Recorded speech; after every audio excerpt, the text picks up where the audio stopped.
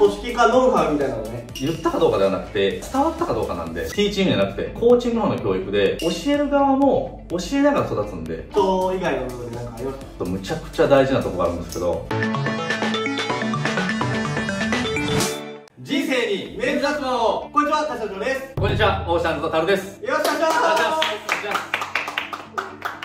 は大阪に来させていただいてましてこちらがですね梅田店なんですけどもまあオーシャンズさんねいっぱい店舗がある中の今日梅田店さんで今日撮影させていただいてと、はい。いうことでこれあの僕が描いた絵なんですけどえ 全然違い あ、全然違いますか？これあの、すごい有名な画家さんが描いた絵で、この内装もおしゃれなんで、ぜひあの、概要欄のリンクからね、オーシャンズさん、ホームページ貼っとくんで、見ていただければと思うんですけど、今日は2回目のご出演ということで、はい。前回はね、結構お肌のこととか、脱毛の話いろいろ聞かせてもらったんですけど、今回はあの、本当にこう、初級者から経営者の方まで楽しめるような内容で質問していきたいなと思いますので、ぜひ最後までご覧いただければと思います。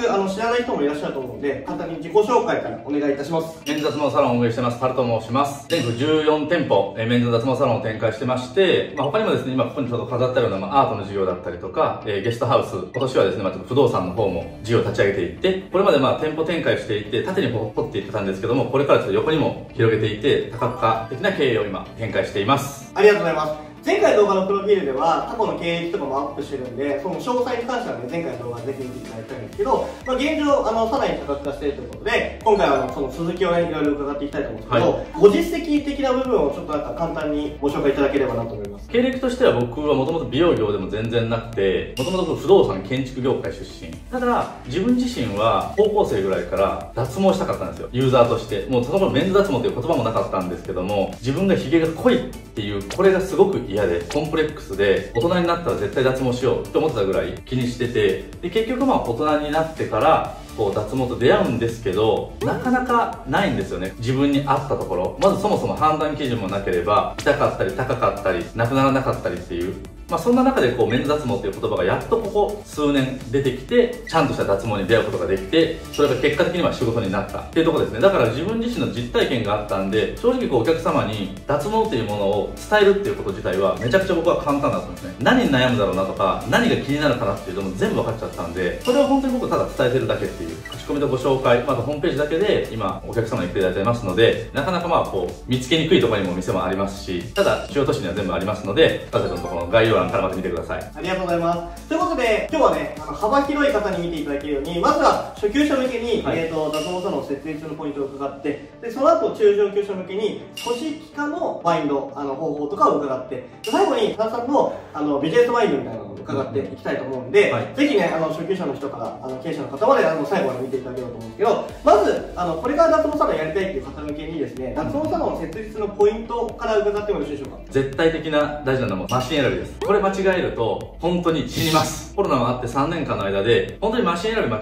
えて死にかけ死んだサロンさんもむっちゃ多いです。先日もあのヤフーのニュースでもこのサロンの倒産企業も多かったけど倒産もガンと増えてるんでうちにも結構こうマシン買い取ってほしいっていうオファーも来るぐらいやっぱりむちゃくちゃ減ってるんでできてるけど減ってるっていう。とにかくこのマシン選びは絶対的にちゃんと時間かけていろいろな話も聞いてそこの営業マンの話だけではなくて会社まで訪問してちゃんと話を聞いた方がいいです。そこの会社の社長はどういうつもりで取り組んでるのか営業マンはどういうつもりなのかどういう考えでやっぱ売ってるのか作ってるのか取り組んでるのかそこの姿勢を感じてたら買うっていうのもパートナーなんで脱毛器メーカーとパートナー組んでお互いやっていくなんで売って終わりじゃないんで、まあ、そこをねちゃんと汲み取ってくれるような脱毛器メーカーだったりとかをまず選んでほしいですね。ありがとうございます。もう何よりも脱毛器がね、大事だという絶対に話で、他に何か設立の時に、これは押さえておいた方がいいっていうポイントあります？か家でやるのか店舗でやるのかなんですけども店舗は本当に一点物なのでここだと思ったらもう迷わずに行くっていうのがもう鉄則ですね。あなたがいいと思ったら他の人もいいと思ってるんでここでうーんどうしようって迷うっていうことはそもそもどういう物件が出たら決めるっていう判断基準を持たずに探しちゃってるんですね。こういう物件出たら借りるっていうふうに決めてたら即決即断できるはずなんでこれからサロンをやっていくっていうことは一人サロンだろうがオーナーであり経営者なんで経営者オーナーの仕事って何かって決断することなんですよね、うん決断が遅かったら会社は死ぬしスタッフは路頭に迷っちゃうんですよねとにかく決断すること決断できる状態に常に置いとくくってこと。それはまあ場所だったりとかっていうのはすごく重要なんで、マシン選びと、あとその店舗の選び方っていうのはすごい重要ですね。めちゃくちゃ大事です、ね、はい。あとは、もしまあ、あの、人っていうところ、人やるのであれば、ここは絶対に妥協しない方がいいです。従業員とかスタッフっていうよりも、本当にこれも結局パートナーなんで、ここで妥協しちゃうと、あとめちゃくちゃ大変です。もうこんなはずじゃなかったとか。結局もう世の中って揉めるのって、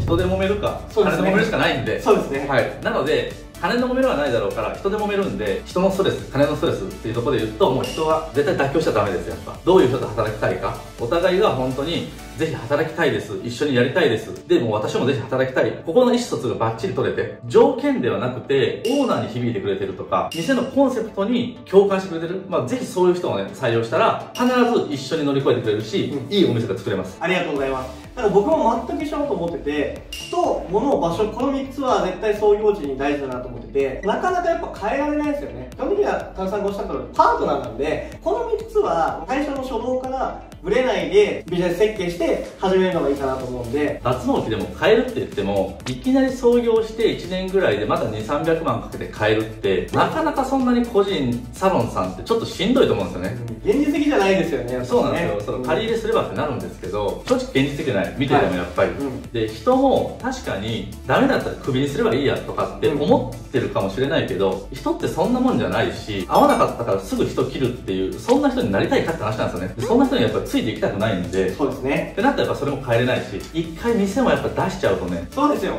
なかなか引っ越しも大変だと思うんですよ皆さん。場所もね変えるのはなかなか知らない店舗なんかは大変なね看板も出してるとかなったりすると。こんな大きいもね飾ってあって内装もこんな豪華なんでやっぱねなかなか難しいと思うんで。そう契約期間もあったりとか短期約があったりとか、はい、そういったのがあるんでもう余計なお金めちゃくちゃかかるんでそこはやっぱりちゃんと本当にもう人物金じゃないですけどその大きいもの、はい、マシンと、うん、店舗の場所と、人っていうここはやっぱり絶対的に妥協せずにやってほしいなと思います。でででもスピード感持ってね。そうですね。取られちゃいますからね。いいものはそう。かといってこれに1年も2年も絶対かけて時間ダメなんで、はい、これっていうのだったらね即断即決が、はい、そうです、えー、一番成功の秘訣かなと。まあすごく初動からねいい話を伺えたんですけどもそんな大下さん今スタッフさんは何人ぐらいでしょうか全体で、まあ、全体で今ねもう60人超えても65とか、まあ、毎月本当に入ってきてくれてるんで。そんなもう60人もいる組織なんですけども、うんうん、なかなかねこれから2店舗目3店舗目出したいよという人向けの中上級者向けの話で組織化悩んでる方いらっしゃると思うんですよ、はい、なのでもう60名を抱えてるオーシャンズさんの組織化ノウハウみたいなのをねちょっとこう見てる方に教えていただければなと思います。とにかく教育なんですよね。マニュアルがあったらできるかって言ったらそうじゃないんですよ。今でこそマニュアルある程度こう整っていってますけども当初本当にもう2 3 0人ぐらいの時でもマニュアルほぼないんですよね。あったらマニュアル通りやっちゃうんででも僕らが対峙してるのって機械じゃなくて人なんである意味マニュアルって存在しないんですよね時も時間も変われば場所も変われば人も変われば対応はもう全て変わってくるんで、昨日 OK だったものも今日 OK じゃなかったりするわけじゃないですか。そうですね。相手の感情は変わってるんで、はい、常に動いてるんで、うんある意味そこってマニュアル化したくなかったんですよね。対応手順とかっていうものはマニュアル化した方がいいと思ってる、そこは。はい、とにかくでも教育っていうのも、共に育つ教育なんですよね。ティーチングじゃなくて、コーチングの方の教育で、教える側も教えながら育つんで、上司部下とか先輩後輩っていうこういう位置づけができた時に、教える側と教えられる側になるんですよね。でも、こっち側は教えることができる。技術も知識もある。こっちは知識も技術もまだない。だから教えるんですけども、この人、脱毛としては確かにプロなんですけど、教えるプロじゃないんで教え方って習ってないじゃないですか。その通りですよ。そう。教え方って習ってないんでこれ気づいてない人多くないそうなんですよ。だからこっちの教えられる方もねそもそもこの人は教えるプロじゃないんだから教え方がうまくないかもしれないし伝え方がうまくないかもしれないっていうことはまず分かっとかないとダメです。でも教えられる側があの人の教え方が悪いとか下手とかこれうちだけじゃなくてよく聞くんですよね。いろんな一般の会社でも。あの人の教え方全然教えてくれないとか教え方が下手とか。でもそもそもこの人たち教えるプロじゃないんで、ね、教えるプロは何かっていうと教えることをなりわいとしてる人なんですよね、うん、なんならまあ学校の先生ですら国語理科社会とかの勉強のインプットされてるけど教え方っていうのは習ってないかもしれないですよね。教えるプロってなったらまあ一つはそれはコンサルティングとかってこれ教えるプロだと思うんですよね、それをなりわいにしてるんで。だからお互いちゃんとそこを理解しないとここで組織って2人以上になってくると誤解錯覚そういうが生まれてくるんでこうやって例えばギクシャクしてくるとかそこをちゃんとお互いの立場をちゃんと分かってでももちろんこっちはこっちでどうやったら伝わるかどうやったらきちんと教えた後にこの子ができるようになるかっていうことを一緒生懸命考えないとダメだしこっちは受け身じゃなくて完全に教えを教えてもらいたいオーラも出しながら徹底的にやっぱ聞きまくるっていうことをしないとどちらかが依存が始まった瞬間に組織も崩壊するし絶対うまくいかないんでそこをちゃんと理解をお互いしてもらうっていうのがすごい大事ですね。めちゃくちゃ大事な話でしたね、オーシャンさんって僕のイメージはやっぱ一人一人がめちゃめちゃしっかりしてるというか一人一人みんな社長みたいな立ち位置であの向き合ってるんですよ。それがすごい強みだなと思っててで逆になんかちょっとテンポうまくいってじゃあ出店したいなんか失敗するパターンっていいプレイヤーを新店舗に置いてでそこに新人を送り込んでお前教育しろよって言うんですけど深田さんが言ってた通りプレイヤーとしてはいいんですけど別に教え方を教えてもらってないから、うん、部下がいきなりできて教えろって言われても分かんないんですよね。それでギクシャクして深田さんが言った通り崩壊しちゃうっていうパターン結構あると思うんでだからそうならないためのマインドセットをまず一人一人にするべきだしそういう方向性の会社がまあタラさんたちみたいにオーシャンさんみたいにこう伸びていくんだと思うんですごいスピードで、ね、今伸びてるんですけどそういうやっぱ事情があると思うんでその辺とかはね組織化のポイントとして大前提覚えていただけるといいかなと思います。1年経って上司になったから仕事はできるけど教えるスキルは上がってるかというとそれはまた違うし教えたかって言ったら教えましたって言っても下ができてるかどうかまた別問題なんで言ったかどうかではなくて伝わったかどうかなんで。そうですね、これがすごい大事なんでこれお客様に対しても一緒じゃないですか。いや最初に言いましたよとかって。言ったかどうかなんですよ。伝わったかどうか。お客様が理解したかどうか。ここはすごい大事なんで。マルになるんであの言った言わないとか。伝わったか伝わってないかが大事だとそうですね。完全にそうですね。いただければと思います、はい、あともう一つぐらいなんか組織化のポイント人以外の部分で何かありますか？むちゃくちゃ大事なところがあるんですけど結局な何のためにやっぱ頑張ってるのかっていう先ですよね本当にビジョンの共有、うん、これがむちゃくちゃ大事です、はい、これやった先にどうなるのかっていう、まあ、脱毛そうなんですけども俺話してるのって何かってお客様に脱毛やったら良くなりますよ綺麗になりますよひげ剃らなくて良くなりますよっていうことを言ってるんじゃなくて脱毛やった先の向こう側をちゃんと説明できてるかどうかここがむちゃくちゃ重要なんですよね。これめちゃくちゃいい話ですね。ここででもここじゃないですか絶対。もう絶対そう。その先何だと思います。脱毛する先何があると思います？脱毛する先って人それぞれ目的ありますけど、モテたいとかね。そう。それも立派な動機なんですよ。そう。自信をつけたいとかね、うん、いっぱいあるんですけどみんななんか毛を抜くことに一生懸命になってて実はお客様って毛を抜いた先に何か目的があるから脱毛するわけじゃないですか。これがね分かってない人多くてすごい今有益なお話でしたよ。そうだからそこをそれこそ一緒に働く仲間とも、やっぱシェアしとかないと。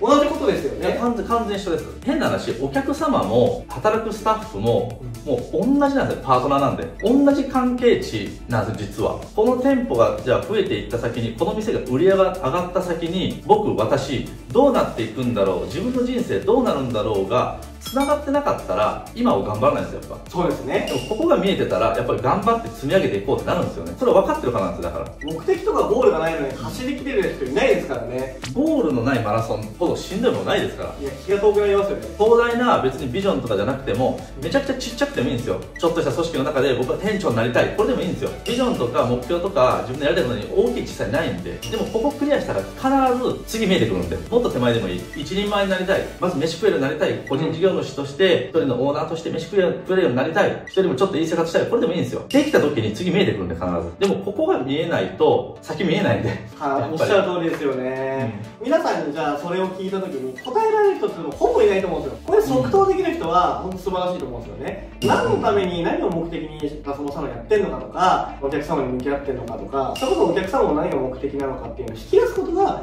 めちゃくちゃ大事だと思うんで脱毛のねその先お客様も仕事もその先がやっぱ大事だということでスタッフさんをねこれから雇用して出店したい人とかは先ほどの人の話もそうですし目的とか目標の設定、うん、パートナーとのその関係の構築だったりとか一緒にどこで目指していくのか。本当に大小関係ないと僕も思うのでちゃんと休まず出勤するでもいいと思うんですよ。ただなんか目的なく働いてる人は僕のイメージはやっぱ掃除ですぐ辞める。あとなんかトラブルを起こすっていうイメージがあるので組織化をしていきたい人は重きを置いていただければなと思います。結構僕ね感じるのがいろんなこう会社の社長さんもそうですし、はい、僕ももともとサラリーマンをやってたんでね特にちっちゃい会社10人規模ぐらいだったら社長がスタッフの将来どうなりたいかぐらいはね僕はねやっぱ把握しとってほしいんですよ。こいつうちの会社入って最終的にどうなりたいんだろうって社長が言ってたらこれダメだこれって僕はやっぱ思っちゃうんでね。そうですね、うん、本当その通りですよね。そこぐらいはやっぱり分かっといてほしいしお互いそこのすり合わせをちゃんとしとかないといけないと思ってます。だからこの会社で頑張った末に自分の夢達成できるとかこの会社で頑張った先に自分のなりたいようになれるとか理想とする人生が歩めるっていうこれがあるからだから頑張るじゃないですか。動機なくしては頑張れないしし、大体お金で釣ってももう、給料上げたりとかしても、今までの経験で言うとね、持って大体3ヶ月なんですよ。給料上げてくださいみたいな話多分あると思うんですけど、上げてもその効果、3ヶ月持って。ひどいだって1ヶ月でもそんな。スタッフも、お客様もそうだと思うんですよ。値下げしてくるお客さんって、本当持って、なんか1、2回ですよ。で、元の料金に戻したら、失脚しちゃうんですよね。じゃあどうするかって言ったら、価値提供が大事で、対お客様も対スタッフもそこが大事だと思うんですよね。お金って思考停止じゃないですか。給料上げてやるとか値下げするからうち来てくださいとかって、うん、なんかお客様にもスタッフにも結構思考停止だと思ってて価値提供が大事ですよね。いやもう間違いもう100%もう僕も100%激しく通り。結局みんなこの値段で比べられるってよく言うんですね。同じマシンなのに、あそこのお店の方が安いとかって言われた時に言い返せないとかね。なんて言ったらいいんだろうとか。これって残念ながら脱毛っていうところ以外のここの付加価値っていうものがないからここでしか勝負されないしここしか見てくれないんですよね。こっちで見て見られたらこれってある意味オンリーワンなんであなたの強みだからこれって比べようがないじゃないですか。同じ人って2人といないから。ここで比べられたらここはもうね関係ないんですね。自分の好きなアイドルとか自分の好きな芸能人が使ったカバンとか。そうですね。そう。それこそこのねさっき炭酸にいただいた水ですけどこの100円の水が BTS がくれるって言ったら1万円なんですよ。BTS が1万円で水配るって言ったら多分買い買いますよね BTS 好きな人は。買うんですよみんな。買いますよ。だって同じ水ですよ。炭酸からもらった水も BTS からもらった水も水は一緒なんですけど価値というかそういうことですよね。いやか完全にそうです。いろんなオークションとかで値が上がるとかってそれそこに価値があるわけじゃないですか。そうですね。うん、うん、その価値っていうものにやっぱり気づいてでもこれってねほとんどの人が僕はねやってないし分かってないと思うんですよ。でもこれって何かっていうとその人それぞれの長所と魅力なんですよね。自分のことって意外とあんまり知らないと思ってるんですよ。自分のことあんまり大したことないとか自分っていやそんな別になんか優れた能力ないしなと思ってるんです。いやでもそんなこと実はないんですよ。みんなあるんですよ。必ずある。そこを最大限使うっていうことが自分の付加価値なんで完全にここなんですよね。これ日本人っていうなんか習性なのかあんまりなんか自分のことをね評価してないなっていう人が多いです。過大評価するぐらいいいと思ってます。なんかもう俺はこれが得意だからみたいな。人と比べるんじゃなくて過去の自分とか自分の中で得意だとか自分の中で長所だと思ったらそれは長所なんですよね。それを最大限に出していけばそこにお客様は絶対についてきてくれるんで。僕は僕でやっぱりこうねお客様も誰よりも考えてる。でもこの誰よりも考えてる事実って人と比べれるものじゃないじゃないですか。だからそこに理解をしてついてきてくれる。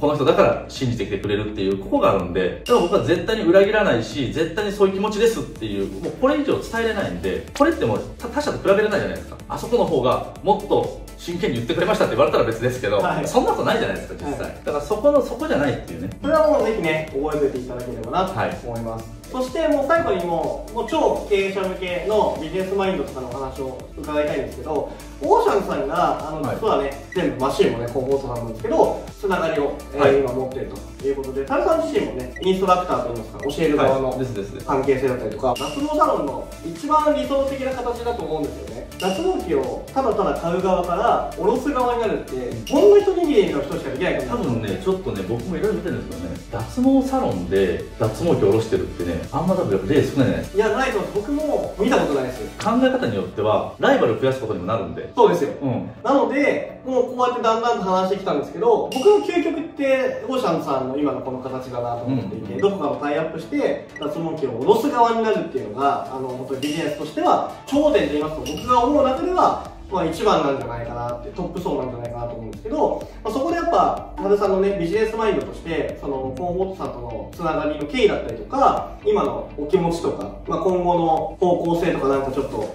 伺えたらなと思うんですけど。脱毛器選びとか脱毛器メーカー選びっていうところはやっぱうち何回も訪問会社にも訪問させてもらってる社長さんとも営業さんともやっぱ話をさせてもらってる。なんでこのいろんな業種がある中で脱毛器メーカーを創業しようと思ったのかそこまでやっぱ聞くんですよね。でそこに僕らもやっぱいろいろ共感してそもそも美しいという感性がなかったら毛がなくなっても美しいと思わないんですよね。その美しいという感性を生み出すために脱毛器メーカーとしてコンフォートさんやってるんですよね、まあ、今ねコンフォートジャパンさんも化粧商品とかいろんな分野も展開してますけども全店こう全部コードジャパンさんのマシンを入れてて、絶対的な信頼も置いてるし、実績としても、まあ、メーカーとしても超老舗ですし、まあ、出てる台数としてもすごい数も出てるんで、3000台も超えるような台数出てるんで、で、まあそこの中で、結局こう、僕らも今まで店舗展開やってきて、ノウハウも溜まってきて、実績も溜まって、まあここから次僕らがまあ何ができるかなっていうところでいくと、大手結構ひどいじゃないですか。ひどいですね。言葉選ばずに言うと。もう批判をそれずにいくと、広告もちょっとだいぶひどいなと思ってます、正直。グレーでなくなってきましたね。アウトになりましたね、今までアウトよりだってもう完全にアウトなんですよね。ですよね。もうオイルケロセンで走ったりとか、2回で終わりますとか、実際に僕も2回で終わりますってやつに行ったら、2回なんかで終わりませんと。ほとんど全身脱毛終わってる人が、あと2回で終わった。これが2回で終わったっていうふうに言われたりとか、うんうん、まあ結構まあヘリクスむちゃくちゃやなと思って、うん、で、そんな中でまあそれをもう、ただ批判してももうしゃあないなと思ったんですよね、はい、それよりかは今ある個人サロンさんがどんどんいろんなものを吸収して一緒にこの成長して良くなっていくことの方が今後の美容業界脱毛業界発展するじゃないですか。そうですね、うん、ってなったら僕らは今までこうやってきたことどんどんこれは次個人サロンさんにどんどん展開していってもいいなと思って、うん、確かに一方でライバルも増えるねっていうのもあるんですけどもそれって切磋琢磨の仕方だと思うんですよね。そうですね。確かにうちでじゃあうちの店舗の近くでウオもポンコトさんのマシン入れましたってなったらそことお互いよりマシンが一緒ってなったら本当に付加価値のところで戦わないと勝てないわけですよ。うちも今まで通りじゃダメだってなるんでどんどんこう発展していくんでお客様にとっては必ずいいはずなんですよね。っていうところで僕らもこれ今どんどん支援をしていってて新規でサロンを創業される方だったりとか、うん、マシンの買い替えだったりとかそれから今エステやってるけど脱毛メニュー取り入れたいとかっていう人、うん、まあこういう方向けに僕も今もう毎月のようにも面談していってるんですよ実は、はい、もう漏れなく共通するのがもうたった一個相談する相手がいないんですよ。そういう方多いですよ。そう。そういう方しかいないかもしれないですそう。相談する相手がいないんですよ。実績があって専門家で損得感情抜きでちゃんと話を聞いてアドバイスくれる人これがいないんですよ。この前会った人もお金を払って相談するものだと思ってましたみたいな。お金を払わないと相談できないからなんかいつも時間を気にして相談してましたとか。でもその人じゃあ脱毛サロンやってんのって言ったらやってないんですよね。だからもう分かんないわけですよねそれって。一般論で言われるけどで結果的にじゃあお願いして相談して良くなったのってなったら別に何も変わってないんですよね。これ相談して良くならなかったらこれ意味ないんで。だから僕らはもうそこを今これからちょっとどんどん支援していくような立場でちょっとこう今動いていってるんで。素晴らしいと思いますだから僕も田中さんも脱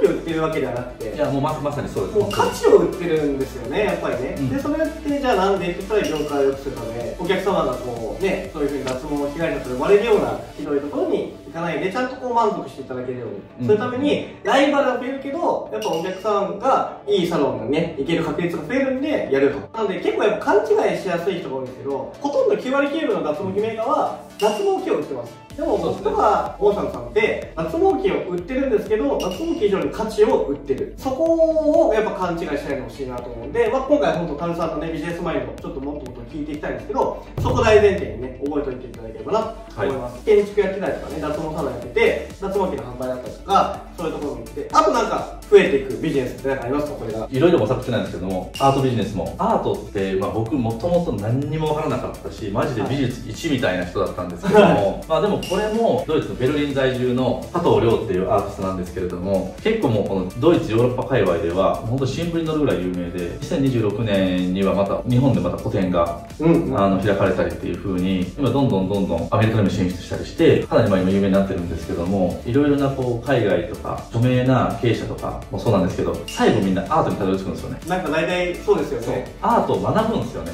教養としてのアートっていうのでセンスっていうのはもう生まれ持ってのものだと思ってたんですよね。決まってると思ったんですけどももう言われたんですね。感性は磨けると。磨けるからこれはどんどん広がっていくしどんどん伸びていくって言われてでそのじゃあ伸ばすために何したらいいって言った時にそれはもうアートに触れることやと。でそこから僕感性磨きたいっていうのがあってアートに触れ始めたっていうのがあります。アートビジネスみたいなこれも、これからは、これからそうですね展開をしていくんで。素晴らしい。もうやりたいことは全部やった方がいいですよね。間違いなくねやった方がいいですよ。あとまあうちも大阪で今ゲストハウスもすでに運用してるんですけど、うん、そうだそうだ。はい。エアビーとかに乗ってて3月4月とか5月ぐらいまでも予約もバーッと入って、まあ、ああいうのやってると本当にこうインバウンドとかも帰ってきてるなっていうのをすごい実感するんですよね。やりたいことはねもう本当にやった方がいいです。海外行きたいなとか行った方がいいですよ。あれしたいなこれしたいなっていうこの願望の話ってよく聞くんですけど人生そんな本当長くないし、うん。それに莫大なお金がかかるとかって話は別なんですけど多分ねほとんどのことが大してそんなにお金もかからずにできることが多いんですよ。例えばこうやって YouTube アップするのもスタンドと iPhone があったらできるわけじゃないですか。1000円のスタンドと僕の iPhone で撮ってるんですけど。そうなんですよ。実は iPhone 撮ってるんですよこれ。毎回皆さんに驚かれるんですけど。でもたったこれだけの材料でできるけどできるんだってみんな知るんだけど、うやらないんですよみんな。やらないですね。9割9分やらないです。そう。10人が知るんですけど9人やらないんですよ。でやるのってほんと1人なんですよね。でも続けるのってもっと少減ってくるじゃないですか。そうですね。やり続ける人って。だからまずチャレンジしてやるだけである程度の価値は確定なんですよ。そうですね。ビジネスってやったら価値はほぼ確定になってくるんですよ。これいいビジネスマインドですね。だからとにかくトライすることがむちゃくちゃ大事で諦めなければいいわけで自分がもうやめたってたけどやめてもいいんですよ。でもとにかくそのやったことは絶対に無駄にならない。僕も今まで不動産業建築、はい。まあ今ここで美容業でやってます。この間もちろんいろんなバイトもしました。いろんなバイトもしてこれは合わないな合うなとか面白いなとかいろんなことをやってきてでやっとここに来て点が線になってきたっていう感じなんですね。店舗の内装もやっぱり自分たちで手配をして見積もりを全部チェックして適正価格かどうか全部わかるわけですよね仕入れも全部自分らでやりますから繋がってますよねはい、だからもう完全に繋がるんですよね。うちいろんなエリアでやってるから、店舗展開してる方とかに、業者とかどうしてんのって言われるんですよね。業者僕全部現地で開拓します。でも、いい業者か悪い業者か分かんないでしょって言うんですけど、はいでもこれはやっぱ人なんですよね。話したら分かるんですよ。ほとんどもう LINE か電話のやり取りで、大体分かっちゃいます。人柄って出ちゃうんで、やっぱそこに仕事の丁寧さも出るんで、各現地現地現地でやっぱ職人さんとかもやっぱり集めて、そういうことができれば展開できるんで、でも全部僕らもこの誰も教えてもらってないんですよ。職人さん探すのも、職人 .com みたいなのありますから、何でもあるんで、イメージできることは大体できますし、うんイメージできることは一回絶対トライした方がいいです。だからもしこれ見ながらなんかこう、自分も脱毛サロン開業したいなとか、うんうんチャレンジしたいなとか、導入したいなと思ってる人は、まずやっぱりね、いきなり別に導入するに至らなくても、まず聞いてみるとか、問い合わせしてみるとか、メーカーでもいいし、で僕らでもいいし、何か問い合わせしてみるっていう、このアクションを起こすことがめちゃくちゃ大事です。ありがとうございます本当タルさんのじゃあビジネスマインドとしてはもうちょっとでもやりたいことがあったらやってみろと。もうトライアンドエラーでもいいからやってみろと。後悔する人生は本当だなと思って。これはもう本当僕もタルさんにぜひ語ってほしかったことだったんで、タルさんってやりたいことをとにかくやろうぜっていうタイプじゃないですか。それがやっぱ SNS でも伝わってきて僕もあの魅力の一つだなと思っていて。だから見てる皆さんも本当ことの大小関係なくやっぱやりたいことってやった方がいいなと思って。さっき言った通り相談する人がいないんだったら本当概要欄にタルさんのリンクも貼ってますし僕でもいいですけどインスタで DM するぐらい無料なんで、こういう行動一つねすると人生変わるかなと思うんでぜひあのタルさんのねビジネスマインド皆さんもね分かっていただいて DM1 本からスタートしてでなんならこうもっともっと深いところ聞きたい人はですね直接タルさんにご連絡いただければあの返信いただけると思いますのでフォローしてご丁寧にね DM 書いていただければなと思います。最後にさんいろいろやってらっしゃるんですけどなんか PR とか宣伝であれば頂戴したいなと思いますまあおそらくこの動画見てる方は、多分こう今もうすでにやってる方とか、今から始めようとしてる人が多いのかなと思うんで、そうですねはい。もう脱毛ビジネスっていうのは、あの、非常にもう面白いビジネスです。まあ、流行りっていうのもありますけども、ちゃんとやれば必ず成功するビジネスなんで、なので、もしこう取り組もうかな、どうしようかなって迷ってるんだったら、やるっていきなり決めれないんだったら、まずやっぱり相談する。家族でもいいし、あの僕でもいいし、全然相談してください。悩んでる時間がまずマジでもったいないです。人生そんなマジで本当に長くないし、でもどうせみんな言います。やってよかったって言うんですよ。最終的にはね。自分でやっぱやりだしたのってむっちゃ遅かったなと思って。だから10代とか20歳ぐらいから独立でやってる人とかって、むちゃくちゃ正解だなと思うし、うん。生まれ変わったら絶対もう就職なんかせずに自分でいきなり何かやろうとすら思いますよやっぱ。今は情報もたくさんあるし、そのアクションを取る取り方も本当に DM でも何でもあるんで LINE でも。あだからもうそれをフル活用して人生をより良くしてほしいなと思いますありがとうございます。マインド的な部分ね、たくさん有益な話聞けたと思うんで、より動画で語れなかった深い部分とか、タルさんのこと気になるなという方はですね、概要欄のリンクから、えーインスタフォローしていただいて、DM1 本フォローしてみていただければと思います。あとやっぱ今日場所を提供していただいたオーシャンさん、ホームページに貼っとくんですけど、店舗の内装だったりとかね、コンセプトのつながりとか、もう全部がつながるんで、そのつながりが分かったらね、ほんと素晴らしいと思うんですけど、かなり勉強になるので、やってる方も、これからやりたい方も、ぜひね、オーシャンさん見ていただいて、深いところまでね、何か感じ取っていただけたら幸いかなと思います。ということで、今回は、オーシャンのタルさんとの2回目の対談ということで、やらせていただきました。ぜひね、また次回の動画も、えーご覧いただければと思います。それでは本日も最後までご視聴いただきまして、ありがとうございました。ありがとうございました明日も今日はありがとうございました。ではまた次回の動画でお会いしましょう。卓上型の訴求なんですけど卓上型ってやっぱ幅とか奥行きがコンパクトなわけじゃなくて高さがないよってことがコンパクトなんですよ。最短半年とかね3ヶ月とかね全身脱毛10分とか20分とか言ってるところは大体メーカーが